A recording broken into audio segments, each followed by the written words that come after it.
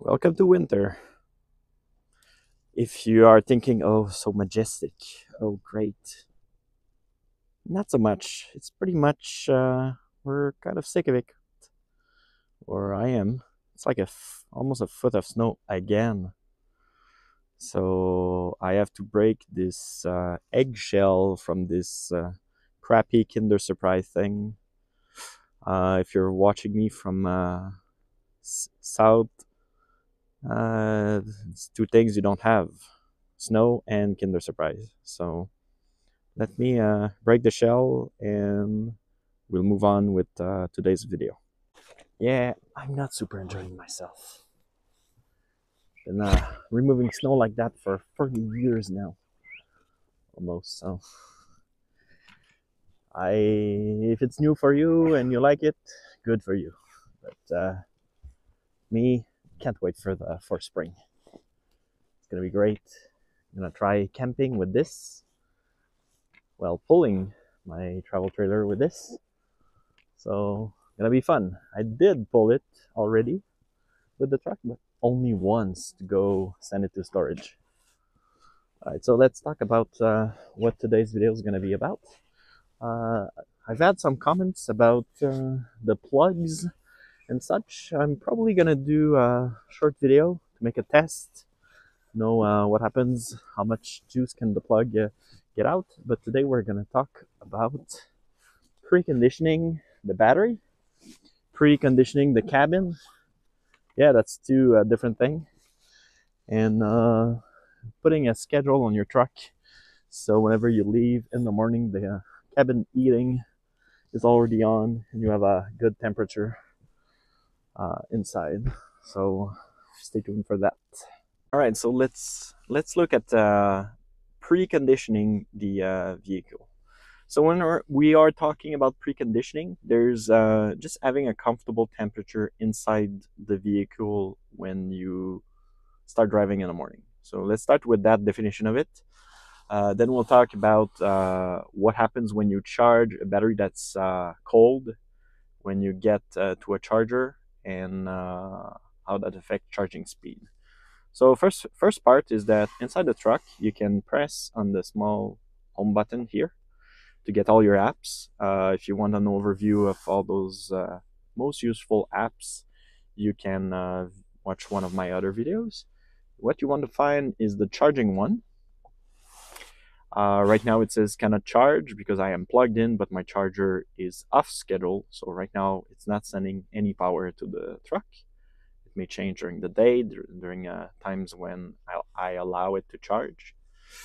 Uh, charge assist is a different thing. It's so you can connect uh, different accounts and be uh, charged uh, from your Chevrolet application when you charge at different charging partners. Uh, I'm not using that right now, and we're not charging uh, at uh, high speed anywhere. So uh, that's not what this is about. And this is the upcoming schedule. So this is where you want to go. So what that allows you is to create a charge schedule. But what that means is that the truck will automatically start charging if it's plugged, of course, uh, according to your schedule and when we click here I already have one created but let's try and uh, just remove the days. And okay it doesn't want to save it.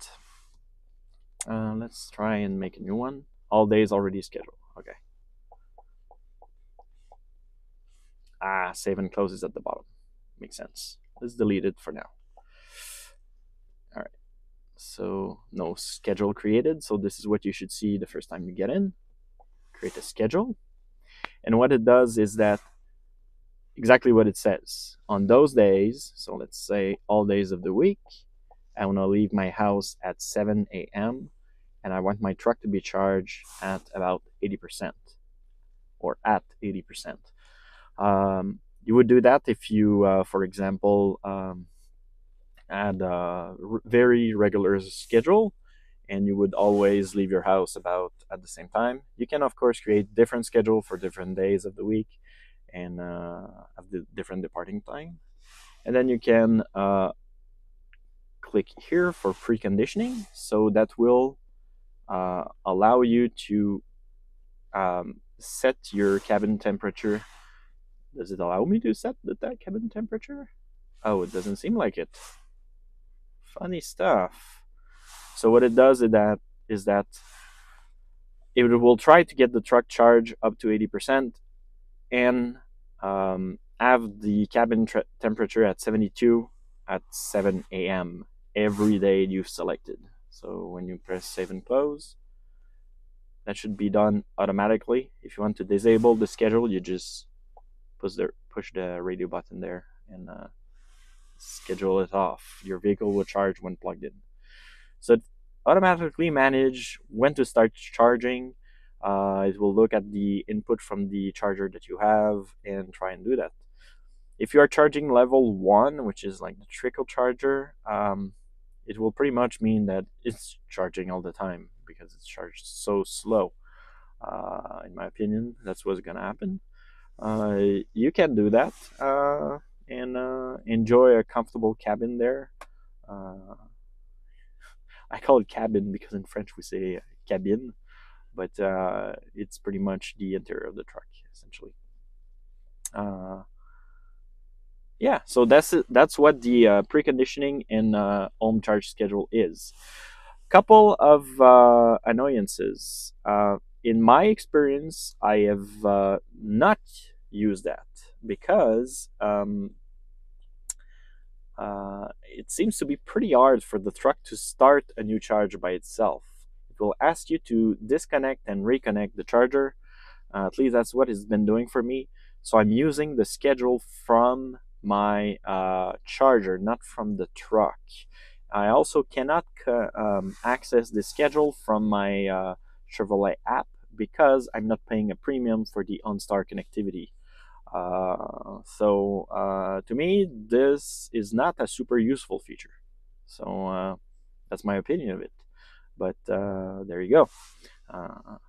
All right, so let's talk now about preconditioning your battery when you're doing a high-speed charging session. So just a quick reminder, um, charging this truck with a level 1 charger should take uh, something like 300 hours, meaning that if you plug it in a regular house outlet and use the trickle charger, it's gonna take a really long time. But uh, you'd be surprised how that can be sufficient for most uh, people uh, regular day-to-day driving. Level two is where you have a real charger uh, from home. You can have it in a dryer uh, plug or uh, hardwired and uh, this is about 10 times faster. So a full charge from 0 to 100, which I would like to remind you, almost never happens because you never charge in one go from 0 to full. You can charge any night, anytime, anytime you're at home, which is very often uh, for most people. It would take about 33 hours for a full charge, uh, which is still quite fast. You'd be surprised how much idle time you actually have at home uh, for a for a vehicle. Uh, of course, everything everyone is different though, and then you have the super high speed ones, the super high speed chargers, and then uh, those are uh, astronomically fast. Uh, depending on the on which one you can find on the road, you can fully charge uh, the truck from 0 to a 100 in uh, the worst case about four hours and in the best case seven times faster than that. So maybe half an hour 40 minutes uh, for super fast charger. So this truck charges fast. And uh, i'll explain more about my plan for uh, long long uh, distance traveling uh, how this truck's uh, enormous battery capacity makes it very, very nice to travel, even though you may charge for a bit longer. Uh, we'll talk about that. All right, so first thing is you want to go to the uh, Google Maps icon here because the OS of this truck is uh, uh, Android Automotive. not to be confused with Android Auto, which is something different. It's just the operating system for the whole infotainment system is made by Google and licensed by Chevrolet or licensed by them to Chevrolet. Um, so baked in, there's Google Map. Uh, you can also use your phone uh, Google Map through Android uh, Auto or um, a- a- Apple uh, Car, and then use another app. It doesn't have to be Google Map. But uh, for the preconditioning to work, I believe you do have to use Google Map from the built-in uh, OS. Otherwise, it won't work. So you can always search for a charging station, and uh, you have different options, uh, uh, different types of charger, uh, fast ones, blah blah blah. You, we can look in the settings, and these are the speed settings. So you can say, for example, I don't want the slower ones. I only want the really fast one. So this is my preferred one, of course, but uh, not all the time. All right, so let's try those filters. So now we, we've used those filters. Uh, hopefully uh, it should find stuff by itself. One other nice feature, when you press the gear button, you have uh, route options and can say prefer energy efficient routes. I don't know how that affects uh, traveling uh, that much though. So uh, let's try and do just a regular uh, uh, regular trip. We're gonna go and do a super long range trip. We're gonna go to Gaspé, which is real far from here. So yeah, 10 hours, 13 hours with charging. So yeah, it recommends to me three charging stops with three hours and four minutes charging. It's a crazy long trip. I wouldn't do that in a day. Ever, ever, ever, ever.